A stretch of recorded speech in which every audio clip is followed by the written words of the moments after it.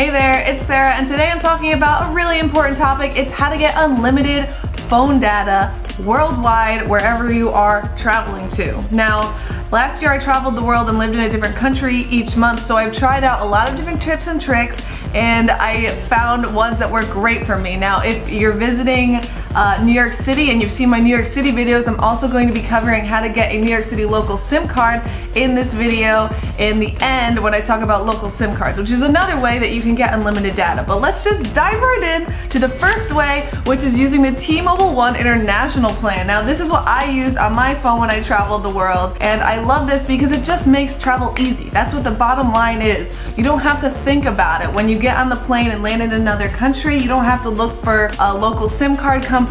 Your phone simply works. Now this plan is available in 210 countries worldwide, so the odds that it will work in the country you're traveling to are pretty high, and that makes it super convenient. The data speeds are at 2G, which is enough to use your phone for basic tasks. You can go on Facebook, but it kind of takes a little bit to load uh, videos and things like that.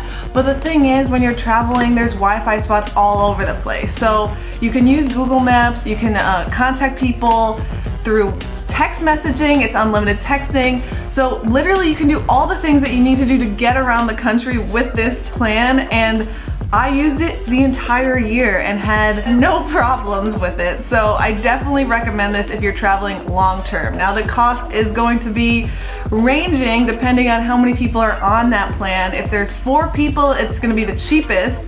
It'll be $40 per month for the unlimited international data and text messaging. If you have one person on the plane, it's $70. So essentially between one and four people, on this plan and the price will decrease if you have more. Obviously they're looking to get more people on the plan and they honestly it's a great plan so definitely recommend that one. If you're making a phone call to a mobile or a landline device then it's 25 cents per minute but a little insider tip is to use WhatsApp. That's what I used when I had this plan and guess what? It is free. Now if you're not on WhatsApp, it's an amazing way to connect with people internationally. Pretty much the whole world uses it except for the United States. We're not really into it, but this is what it looks like. So it's the green app right here that says WhatsApp. It's the best way to connect with people internationally. The last thing I want to mention about the T-Mobile One International plan is they also provide unlimited Wi-Fi on GoGo enabled flights. You can find out which flights are enabled with GoGo Wi-Fi if you look online. So all around, this is the most convenient way to travel the world and get unlimited data if you're doing a long-term travel. The second thing I wanted to talk about is the SkyRoam. This is a Wi-Fi global hotspot and this is ideal for shorter trips.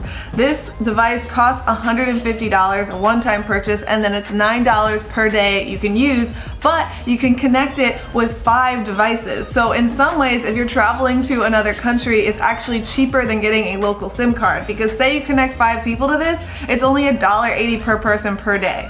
It looks like this. And essentially this button right here, you press that and then the Wi-Fi starts.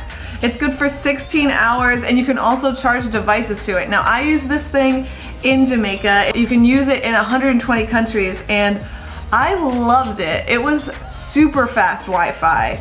Uh, you can literally watch YouTube videos on the top of like a remote mountainside with this thing.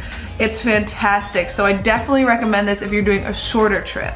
If you're charging devices with this one, it comes with this tiny little USB that you can plug right into the side here. And it's super easy to charge things with this, so very convenient. Especially when traveling and your phone dies all the time. Another option is getting a local SIM card. Now, if you are looking for the fastest Wi-Fi and data speeds everywhere, then getting a local SIM card is normally the best option.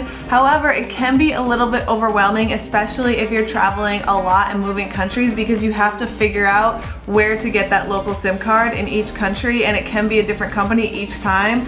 I like to use too many TooManyAdapters.com. It's a website all about travel technology and they tell you the best local SIM card to get in each country. So do that research before you arrive and then find the store location and go there right after you get off the plane and you can get a local SIM card that way. Now if you're visiting New York City and you're watching this video because you want to know how to get a local SIM card in New York City, I'm going to talk about that right now and it's the T-Mobile Tourist Plan. I think this is fantastic. I mean I'm a big fan of T-Mobile, I use them myself. They offer a three-week tourist plan that gives you 1,000 minutes of talking, unlimited data and unlimited texting for three weeks and it's $30. It's fantastic and the way you get it is when you get off the plane, find a T-Mobile store and go into it and then just ask for the T-Mobile tourist plan.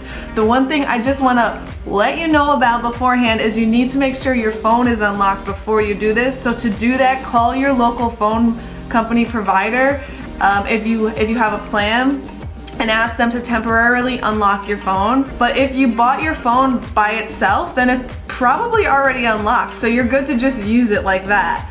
Super convenient way to get incredible speeds. You can find the links to all of my suggestions in this video below. And, uh, you know, happy travels. Thanks for watching. And if you like this video, remember to subscribe and I will see you next time.